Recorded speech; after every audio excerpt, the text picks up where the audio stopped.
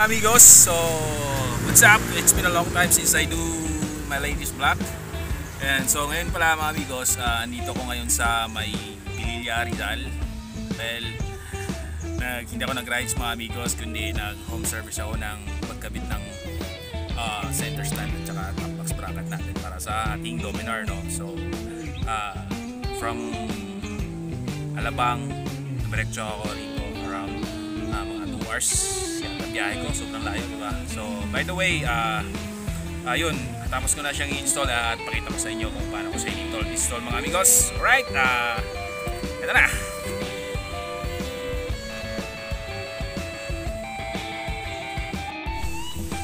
Alright mga amigos ito yung Dominar ni Sir.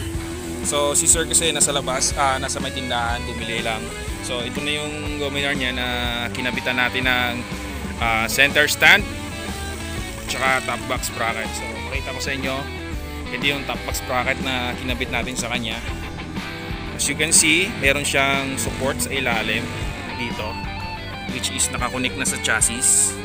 Ayan bali left and right siya mga amigos.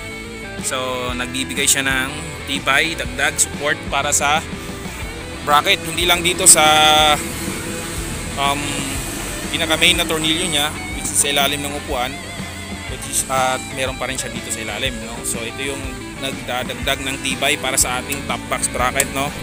So pandigmaan na top box bracket natin.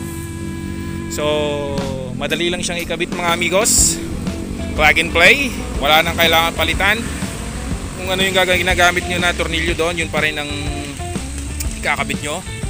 And then sa ilalim madali lang din siya. May kasama na siyang tornilyo sa gilid. And then ganyan siya kala ka pogi tingnan mga amigos no? Right para siyang na, na, talaga dito hulmang hulma para sa motor natin. And then sa center stand naman mga amigos ito yung center stand natin. Yan. So may abang na siya dito para sa Dominar. Complete set na rin siya. Complete set. Yan. Complete set. Ito yung bracket na kinakabitan ng ating center stand kabilaan yan. Ito. Sir. Yan ito yung kabila. Yan. Center stand. Plug and play lang din. Pwede lang kumikabit pero kailangan nyo ng tulong. Pag ikakabit nyo. Ah, so mas maganda siya tingnan kumpara na nakabadak stand. Diba center stand kasi kailangan ano eh kahit saan mo madadala kumpara sa paddock stand sa bahay mo lang madadala no? may option kung dalhin may tali mo. Gusto mo talagang dalhin. Right. yan pala si sir yung customer natin. Salamat sir. Right mga amigos yan na.